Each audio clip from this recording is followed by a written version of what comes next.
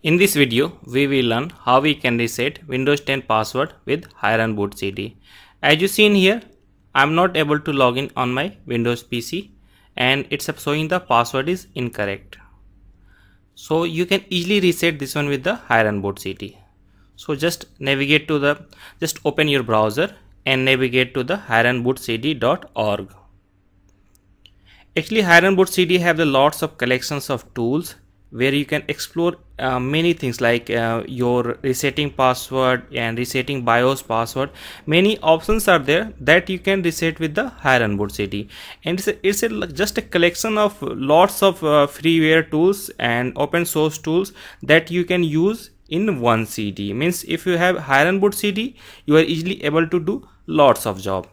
And just click on the download and if you want to read out the, all the uh, tools that's available you are easily able to find it here. As you seen here like Norton removal tool lots of tools are there. And if you want to uh, view the CD contents so click on the C CD contents and you are easily able to explore all the tools that are available in the Hiren Boot CD even you can reset the BIOS password lots of tools are there. You i think you must be try all the all this to just explore all the details. And to download this one just click on the bootcd.zip actually i already downloaded so i'm just going to be cancel this one. And after that what you require just unzip this file. And i already unzip. And here you have if you have the cd so you you can burn with the dvd um, burn with the burn this cd or either use the USB, USB disk. So right click on it and after that just select the run as administrator and provide the path of your image. Just click on the browse and provide the path of your uh, Boot CD image. You can also do the same thing with the USB drive and if you are just if you want to use with the USB so just use the Rufus tool. And you will find all the links in my video descriptions also. And after that click on the start. And now after uh, your CD you need to be boot in the BIOS.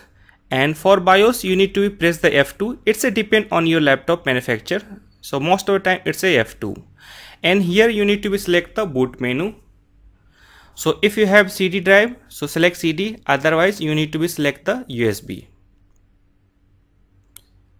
So I just wants to do with the CD-ROM device, so I need to be select the CD-ROM. Otherwise, if you have the USB device option, so you have the uh, you need to be select the USB device.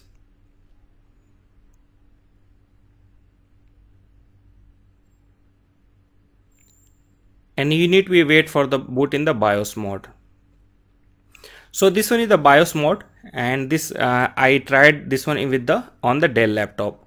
And here you have the main advanced security power and boot option. So you navigate to the boot option. And you need to be change the your first boot device option. By default it's a CD-ROM. And if you want to use the USB so you need to be enter here press enter here and you need to be select the USB or hard disk whatever option that you want to use it you can use it from here. So in my case i want to use the cd-rom. So i just need the cd-rom. And after that click on a and just tab on exist and just hit enter and enter y to save this one. After that just press y and hit enter to save this one now it will be boot in the Hiren Boot CD. Hiren Boot CD. Now here you need to be select the mini Windows XP program. Actually it's a mini Windows XP but it's not the Windows XP. It just looks like Windows XP and you have here you have many tools also like memtest and other tools are also there that you can try with the this CD. So in this for this uh, video I'm just going to select mini Windows XP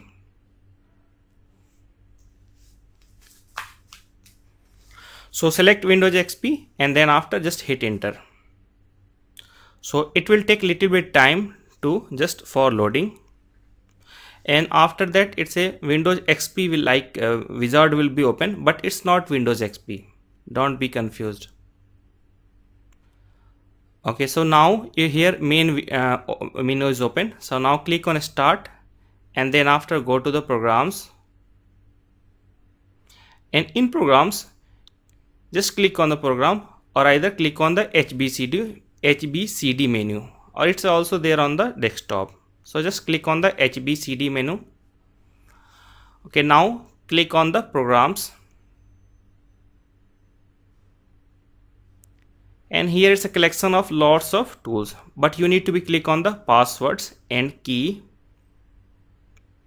and as you seen here you have lots of options but here you need to select passwords key and windows login. So click on the password C and windows login. Actually it's showing windows uh, NT Vista 7 but it's also supported for the windows 10 also. So just click on the this one option. And now you need to be select your directory. You need to select your target. So click on the select a target okay now it's going to show you the which drive that he wants to use. So C is used for system reserve this one and D is your main target where your Windows is installed. So select your drive and then after you need to be select the Windows folder. So just select the Windows folder here and then after click on the OK. So as you seen here in the right hand side now you have option to renew existing user password create new administrator user or turn existing user to administrator. So we i just wants to renew my uh, just reset my current user password. So i need to select the first option renew existing user password. So just select that one. And after that you need to be select your account that you wants to reset it so as you see in here, I have my account Rumi IT Tips. So I need to be select my account Rumi IT Tips. And if you want to use other account, so you can select this one. So click this one Rumi IT Tips and after that just enter the new password that you wants to reset it.